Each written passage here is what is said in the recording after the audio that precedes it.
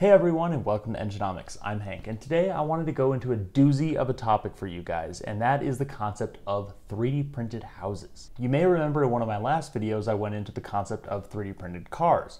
And while I thought the technology was super cool, I thought it was a bit far-fetched and a bit unrealistic. But I've learned that some of that similar technology is being applied to houses. Soon enough, we'll be driving our 3D printed cars into our 3D printed garages and meeting our 3D printed families for 3D printed dinner. But all jokes aside, at face value, this stuff is pretty cool, but it's a lot more involved than you may think.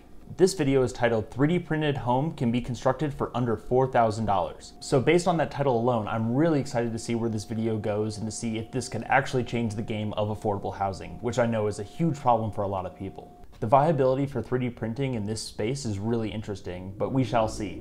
Let's see the video.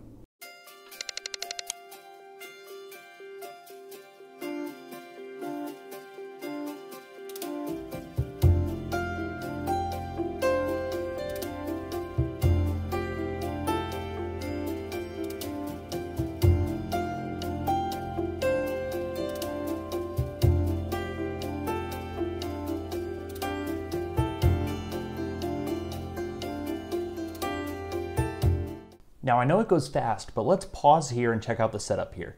It looks like a frame of a house supporting the 3D printer, which in turn is printing a base. It's like a Russian nesting doll full of houses. But the thing here is that someone has to erect the frame, someone has to maintain it, and someone has to make sure that all of the parts are moving and in working order. But let's press through.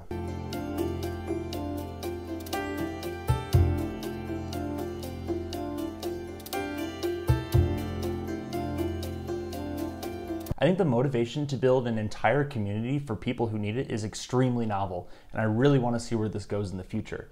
That said, I'm a little skeptical to see where exactly and how reliable this is actually going to work out. My main concern for this community is actually the concrete itself, because concrete is actually a pretty old technique and it hasn't really changed a whole lot. Buckling walls or uncured concrete could actually be a huge problem in this case, because in the video they state that it would take under 24 hours, when in actuality, it may take concrete up to 28 days to fully cure. And that's pretty crazy when you think about it. Timeline aside, let's move forward.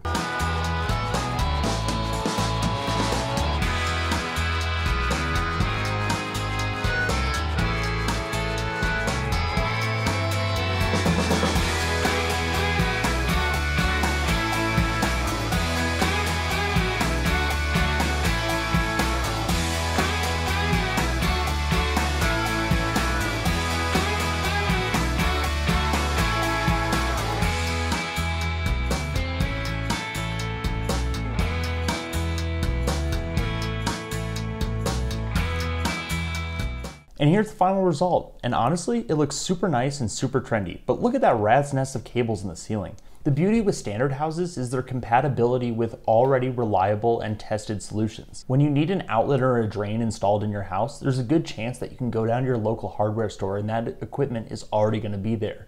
In addition, it's gonna be easy for an electrician or a plumber to come in because they've known and they've seen a lot of these houses. 3D printed houses are going to be customized and might have that same rat's nest of cables that you see in that video. With 3D printed houses, their customizability is also their downfall. Look at the house here. If you need an electric panel, heating, plumbing, you have to think about this stuff in advance. This problem could be solved with external metal conduit, pipes, and HVAC, but then that isn't exactly a 3D printed house, is it? An alternative solution to 3D printed houses is prefab. Prefab has components that are made off-site and then are brought onto the site and then built there. Plus, prefab houses are already available, cheap, and stable. These would all be issues for individuals that are seeking low-income housing. In the book Evicted, author Matthew Desmond says that 1 in 14 Americans are evicted from housing every year. Low income, affordable housing is a problem that can't be solved by just 3D printing. Therefore, I believe that it would be much easier to utilize economies of scale to fight the low income housing crisis. Larger apartment buildings and multi house complexes could bring down the cost easily. Additionally, the increased use of prefab technique can automate a good portion of the home building process. Then, the wall panels, roofing, and miscellaneous components can be assembled like Legos. Now, for everything I did say about 3D printed houses not being a great solution, I have to acknowledge the advantages that they have. This kind of machine that they use in the video could be huge in areas without wood or other industrial equipment. On their website, Icon, the company that 3D printed the house in Austin here in the video, shows off Project Olympus, which could use this technology to construct buildings on the moon. Now that's pretty cool. Finally, like other 3D printed ventures, 3D printed buildings have the potential to create customizable, open source, generatively designed buildings with less material. Once most of the kinks that I mentioned in this video are ironed out, I could see this being used to make highly customizable and really creatively done buildings. But like I said earlier, 3D printing is a pretty cool technology, but I just don't think it's ready for this kind of large scale use, especially when it comes to houses or cars. Um, with that said, thanks for watching all the way to the end. I'm Hank from Enginomics, and if you like this video, hit subscribe and hit like as well. Uh, it helps me out a great deal. So thanks for watching the end. Bye.